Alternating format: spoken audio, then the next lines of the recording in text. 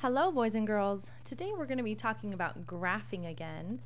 And today we will be using the graph to answer questions.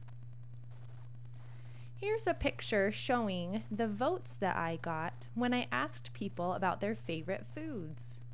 Now let me show you a graph that I put together showing the results of this picture.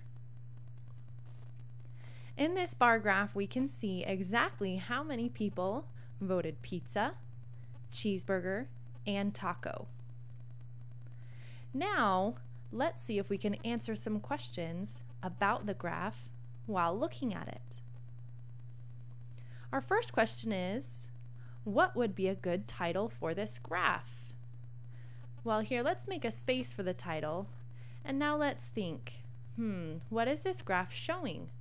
Is this graph showing how many pizzas were eaten and how many cheeseburgers were eaten and how many tacos were eaten? No. Is this graph showing how many pizzas and cheeseburgers and tacos I need to make? No. This graph is showing our favorite foods, the favorite foods that were voted on.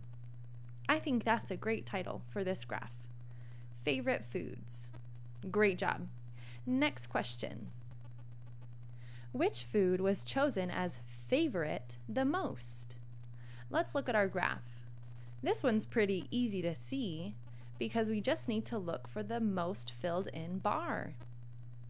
Is it pizza, cheeseburger, or taco?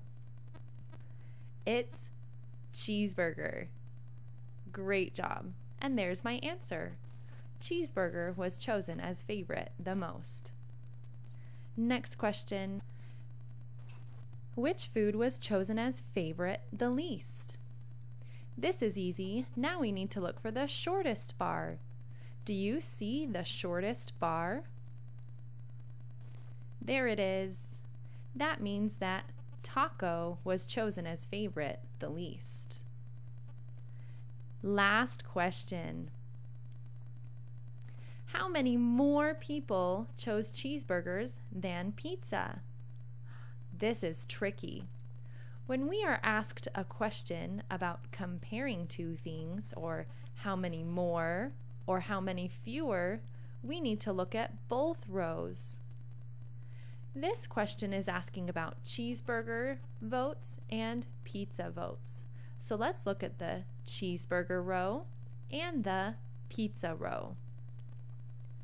I see how many people voted cheeseburger and how many people voted pizza. Can you count how many people voted cheeseburger and pizza? Cheeseburger votes were 7. Pizza votes were 5. And if I do 7 minus 5 to figure out the answer, I find that it's 2. So I can use that math to figure out the answer, or I can look at these empty spaces right here to figure out the difference between the cheeseburger votes and the pizza votes. There were two more people who voted for cheeseburger than pizza. So our answer is two more people voted for cheeseburgers than pizza. Great job. So remember, boys and girls, you can use the graph to compare data and answer questions. You can do this, boys and girls.